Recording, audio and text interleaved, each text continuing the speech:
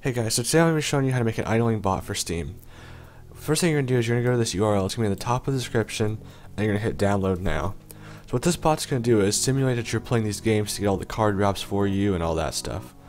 So this, this can also add hours to your gameplay while you're playing another game.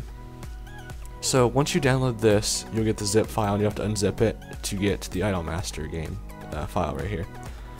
So what you're going to do is you're going to click on this, and start the Idle Master application. Once you do that, you hit run. It'll say Steam is running, and what you do is you have to do is sign in. Then you just sign into your Steam like normal.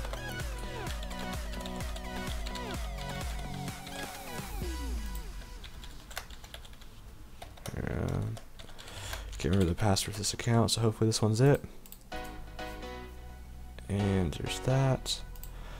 So this this bot's pretty straightforward. You just sign in like regular on Steam. Uh, this can also be used for a trade bot if you guys want to uh, get some other applications with it. So now that you're signed in, it'll actually start idling your games, like whatever games you have card drops for. But I don't have any card drops on this current account that I'm using right now. But if you did, it would show them right down here, and it'll show you what game it's idling at that time and all that. So there's here's some some of your settings. So you can idle it like specific orders, or you can do like different behaviors and stuff like that. So if you guys have any questions with this, just leave a comment down below and I can help you guys out. Um, if you guys have any other like things you want me to show you how to do, just leave a comment for that too. and I can show you how to make those.